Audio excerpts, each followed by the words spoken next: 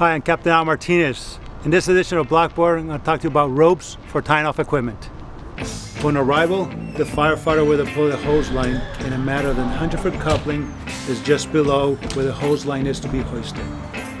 Once the firefighter gets the hose line out of the way, the captain will then proceed to the BA compartment, grab his BA, don it, go get a high-rise pack to ensure we have adequate hose. The captain will then place the high-rise pack nearby and wait for the drop bag.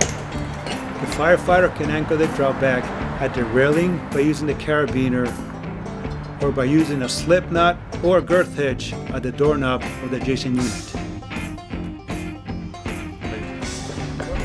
Our department manuals call for a slip knot 6 feet down the line, a half hitch 6 inches from the coupling, and another half hitch 6 inches from the tip.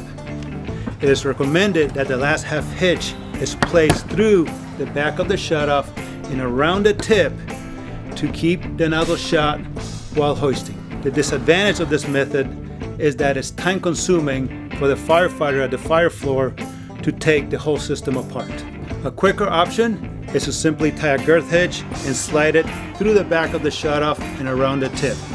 This method also keeps the nozzle shut. Strong enough to hold the hose if it were to get charged and it's quick to take off.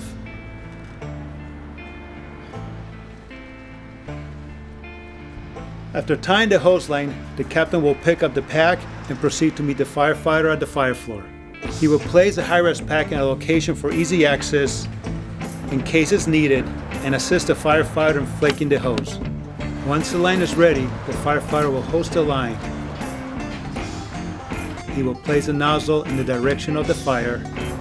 Using the hose strap, the firefighter will place a girth hitch behind the 50 foot coupling and another girth hitch the same way a ladder is tied off around the railing.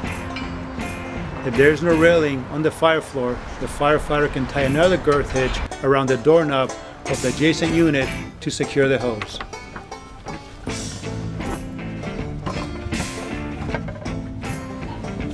Once the hose is flaked, both will don their PPE and initiate fire attack.